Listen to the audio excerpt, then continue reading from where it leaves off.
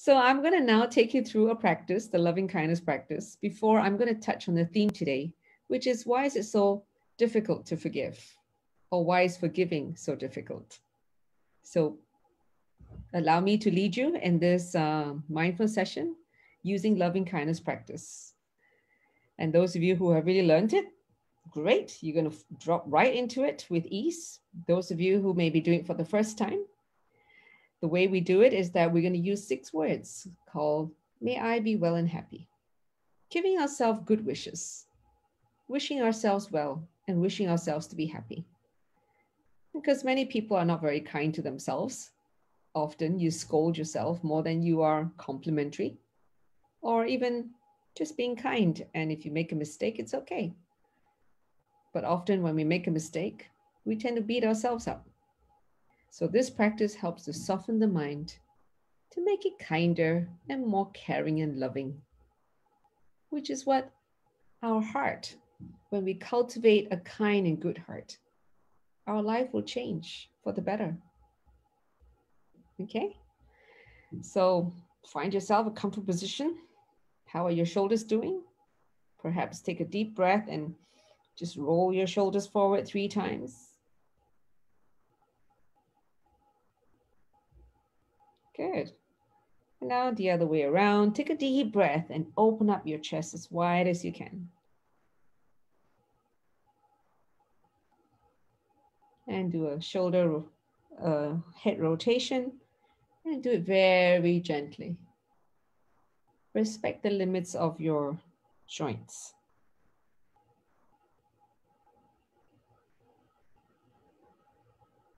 Great. And now just stretch your arms up and reach for the ceiling. And you may feel the lower back pressure being released and your spinal cord lengthens. Just hold it there. Remember to breathe and relax. Good. And now very gently close your eyes. And let's start with three beautiful deep breaths.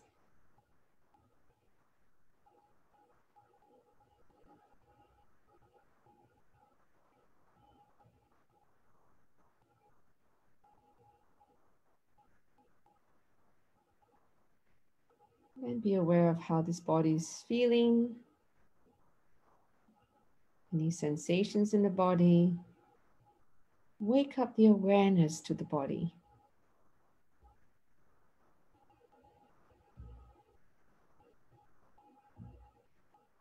And now we use the six words, may I be well and happy.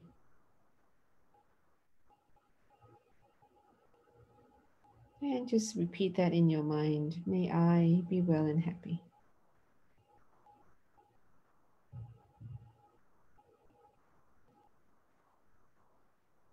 If you feel any resistance to the words, may I be well and happy.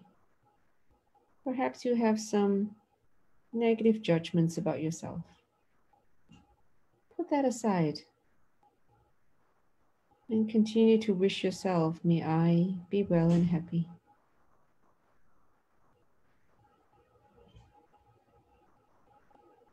And if you still find that too hard, then change the last word to peaceful.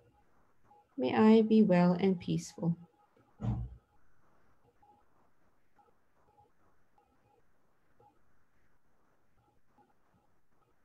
And allow your body to feel the goodwill wishes, the kindness that you're directing to yourself.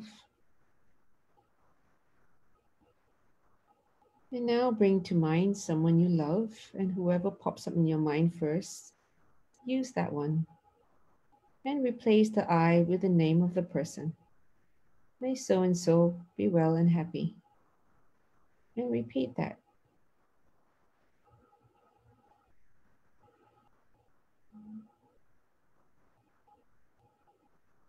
And now bring to mind someone that you care about a lot. Again, whoever pops up first. Wish that person to be well and happy.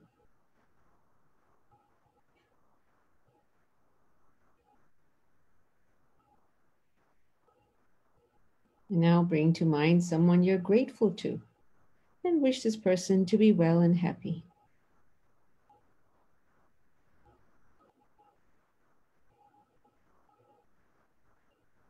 Now bring to mind someone that who has done a lot for you or done favors for you, been kind to you, supported you in time of need. Whoever this person that pops up in your mind, wish this person to be well and happy.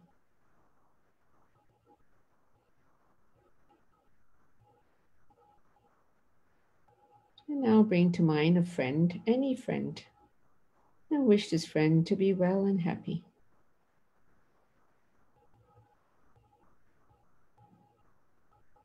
Now bring to mind someone who may have caused you hurt or upset you.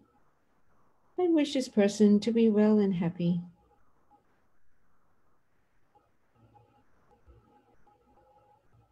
And notice if there is any changes in your body sensations, any muscles tightening up. And continue to say the six words, may so and so be well and happy.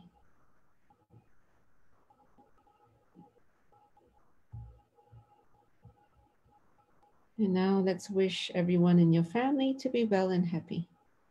So may my family be well and happy.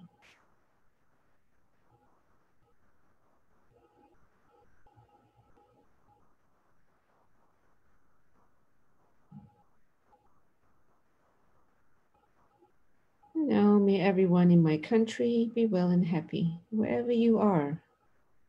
Singapore, UK, Malaysia.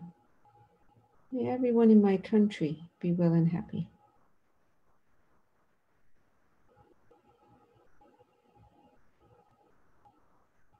Now expand it to the whole world. May everyone in this world be well and happy. Regardless of their race, their color, their religion, their gender, their sexual orientation, their shape, their form, Let's wish everyone in this world to be well and happy. And now coming back to the self, may I be well and happy.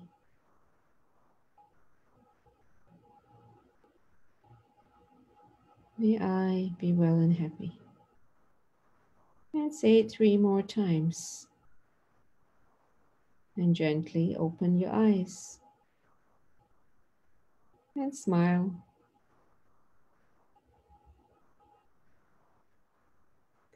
Now, as you were doing the practice just now, I wondered whether some of you may have experienced some tightness in the muscles as you thought of the person that upset you or may have caused you hurt. So even though the person is no longer in front of you and whatever has happened uh, took place this morning, yesterday, a week, a month, a year ago, the thought of that person could still have an effect on you. And that's because you haven't forgiven. So look at the harm it has on your body because that tension is actually a result of your stress response system being activated. That just the thought of that person has been sensed as a threat by your brain. So each time you think of the person or what happened, causes your body to react. And this causes a tension, and you may feel it in the chest or in the shoulders. It may also be happening in your stomach. It may also now be causing more blood to be going up your head, which could result in headaches, indigestion, irritable bowel syndrome, backache. Your blood pressure may be going up, because you may even notice your heartbeat going faster. So there are adverse effects in holding on to something that you feel was unfair to you, that you hold on to a grudge. It is just not healthy. So if you care about your body, your health, your mind, your own well being, and your happiness, it is certainly worth your while to learn how to forgive. For some people, forgiving someone is quite easy and also quite natural. For some people, it isn't. And may have to do with the conditioning of how you were when you were younger, that your parents may be encouraging or discouraging of you being forgiving. If you have grown up with people around you that may be saying to you, Why should you forgive? Strike back, get even, then it's more likely that you're going to hold on to the grudge and waiting one day for you to strike back, to get even, or even get ahead. But in the meantime, you may not realize that it is actually causing your body, your health harm. When you are able to forgive, your chest becomes lighter. You feel better and your happiness increases. So, as an example, if one of you was speaking to me and may have said something that I felt offended by, I felt hurt. And I say to you, I didn't like what you said. You offended me. And your perspective was, you didn't mean to offend me. It was a rather harmless statement. It was the truth. But I said, no, that was offensive. And I'm waiting for you to apologize. But you feel, well, there was nothing wrong in what you said. So why should you apologize? So in the meantime, I'm fuming. My body's getting warmer and hotter, and I'm turning into a monster, an incredible Hulk, because I'm just angry that you're not apologizing because I felt offended. Who is suffering? I am. I am really suffering. And I have now given my key to my happiness to you. Because as long as you don't apologize, I'm going to hold this against you. And I'm the one who's burning inside. I'm waiting for you to apologize. And as long as you don't apologize, I'm going to be mad. Boy, am I punishing myself? Am I torturing myself? What if I can say, you know what? I can forgive you. You didn't mean harm. You didn't mean to hurt me. And even if you did, I'm not going to take it in an offensive way. Even if you call me a chink, which is a derogatory term for Chinese, I said, yeah, so what? It's just a word. I'm not going to get offended and insulted by a word chink. When I don't let it offend me, it doesn't hurt. And if I can say, I'm going to forgive you anyway, even if you meant to hurt me, I'm going to forgive you. I'm the one who's going to benefit. It's not about you deserving to be forgiven, it's about me being able to let go. Life is not about keeping score. It's not about winning. It's about cultivating a kind heart, a good heart that can live from one moment to another, cherishing, savoring what's coming our way. And even if something is difficult, it's an opportunity for us to practice extending our limits of our kindness, of our wisdom, of our courage, and a capacity to take in more so that our, our mind will never be defeated by a few words. No, we're not going to let the peace in our mind be swept away by a few words. That won't be wise, would it? The wind doesn't blow us away, and we let a few words get into our mind and exploding in here. So I'd like to urge you to consider forgiving those who have hurt you. because you are the biggest winner. You are the one who's going to unlock the door to the cage that you have put yourself in the cage of anger, the cage of resentment. So be kind to yourself by learning to let go and forgive. You don't have to forget because you learn a lesson and you are going to be wiser next time.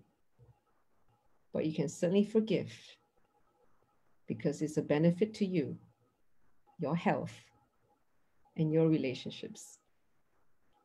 So I hope this little talk makes you look at things a little bit differently from a different perspective and makes it easier for you to consider forgiving. I have a great teacher. When he was asked, How many times should one forgive? And his answer is, One more time. And that's what I practice on the people who can hurt me the most. How many times? One more time. And that's why I can smile. I can do the work that I do because it's about doing the practice. Take care. Bye bye.